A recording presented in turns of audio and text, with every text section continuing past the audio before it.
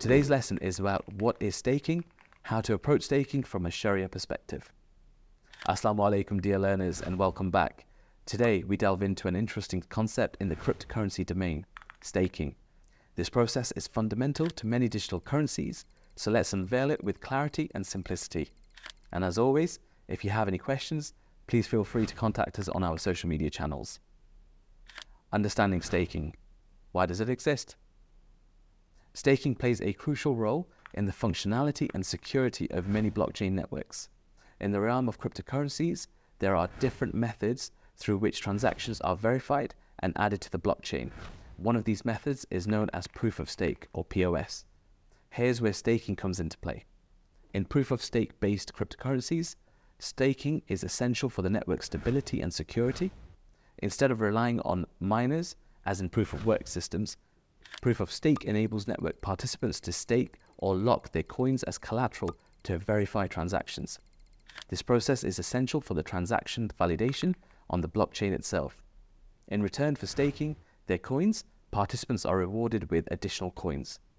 Imagine you possess a certain amount of cryptocurrency. In staking, you voluntarily lock your coins into a wallet to support the operations and security of the blockchain network. Your staked coins help validate transactions and maintain the network's integrity. As compensation for this service and the temporary locking away of your assets, you receive additional coins over time. Approaching from Islamic finance principles, staking must be examined meticulously. It's crucial to ensure that the returns generated through staking comply with Sharia law. Staking aligns with Islamic principles of risk sharing, and stakers bear potential losses and profit and loss sharing, as their earnings are based on the contributions they make to the network. Investments involving excessive uncertainty or gharar or gambling Maisir are prohibited. Ensure staking contracts are clear and earnings are not based on chance but are predictable and based on provided services. Only participate in staking with cryptocurrencies and projects that adhere to ethical standards aligned with Islamic values. In general, it is important that you act responsibly and ethically.